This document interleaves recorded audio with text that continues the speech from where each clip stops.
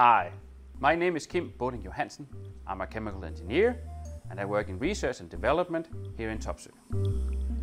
Today I'm standing in our chemical lab in Lyngby, Denmark, a part of our research and development unit. In Topsøe, we work in the field of catalysis. With catalysis, we help our clients run the chemical reactions in their production plants in order to produce different chemicals we need in our society. Without catalysis, we would not have gasoline, plastics, polyesters, artificial fertilizer, and countless other products in the volumes we need. So what is a catalyst and how does catalysis work? A catalyst is a compound that accelerates chemical reactions. This process is called catalysis. Catalysts are very efficient and typically make a chemical reaction 1 million times faster. Imagine this. You have two identical production plants. One is using catalysts and the other is not.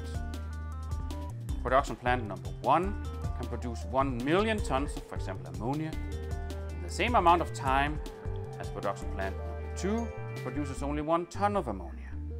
That's why catalysis is indispensable for industry and society, and we could not mass produce most of the products we take for granted without it. Catalysts reduce the binding energy between atoms in molecules.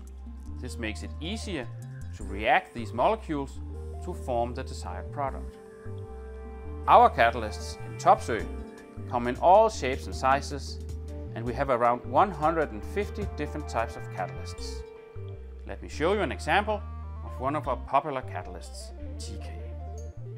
TK catalysts are used by refineries to remove harmful sulfur and turn crude oil into gasoline and diesel. At the refinery, around 100 tons of TK catalyst is placed in a large metal pipe called a chemical reactor. The purpose of the process is to convert sulfur-containing diesel into sulfur-free diesel in order to ensure clean exhaust gas from diesel cars. Sulfur-containing diesel is mixed with hydrogen and passed through the catalyst where the mixture reacts to sulfur-free diesel and hydrogen sulfide. The hydrogen sulfide is subsequently removed and ultimately converted into fertilizer. We are left with our desired product, sulfur-free diesel, in a continuous process. This process layout using a continuous flow over a solid catalyst is the simplest and cheapest way of running a catalytic process in an industrial plant. In a solid catalyst, the catalytic reaction takes place on the surface of the catalyst. In order to make the best catalysts, we need to be able to design the surface of the catalyst down to the nanoscale.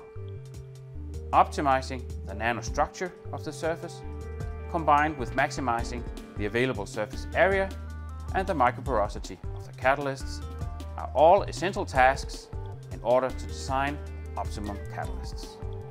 Next step is to optimize the size and shape of the catalyst before we can move to production of the catalyst in ton scale in our own production plants. All these steps need to be optimized in order to deliver the best and most effective catalysts to our customers and their mega scale plants.